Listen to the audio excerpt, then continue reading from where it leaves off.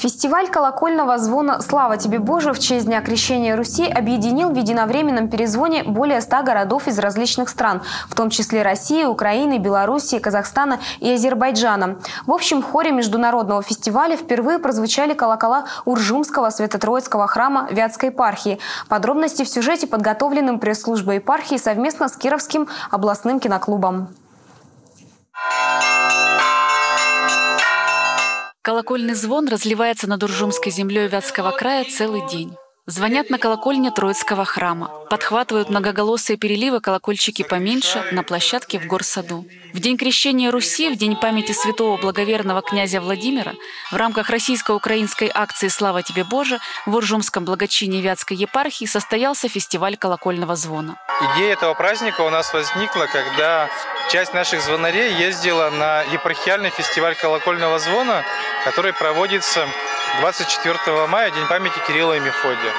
И люди, узнав об этом празднике, сказали, а как было бы хорошо и нам самим в этом празднике поучаствовать. И прочитав в интернете, что на Украине есть такая традиция, которая зародилась в последнее время в День Крещения Руси, проводить праздник колокольного звона, мы решили, что делать его у нас. 12 звонарей из Кирова и области съехались в Уржум, чтобы продемонстрировать свое мастерство.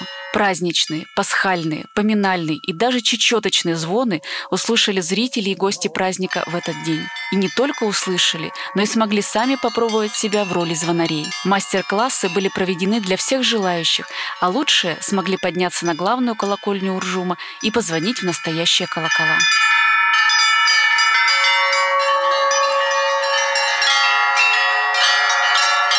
Любимый звон Алены Ивановой – Валаамский. Его, как и многую другую информацию, в том числе и для своей профессиональной деятельности, Алена черпает в интернете. Алена считает, что самое главное – желание звонить. А, важно чувство ритма, конечно. Ну и, наверное, слух он помогает, но ни наличие музыкального образования, ни слуха, ни даже отсутствие чувства ритма, мне кажется, не может этому препятствовать, если есть желание звонить, можно и чувство ритма в себе выработать. Свои чувства, которые испытала Алена, впервые попав на колокольню, ей трудно описать словами. Это было самое сильное чувство по сравнению,